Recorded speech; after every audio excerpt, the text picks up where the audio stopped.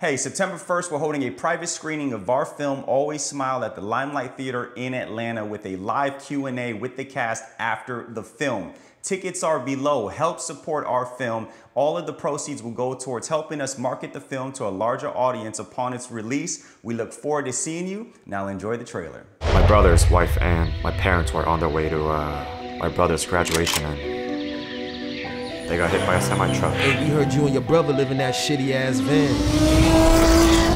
Today's the day. It has to be today. You see this? Get He got license and registration. Stay in the car. Don't get out.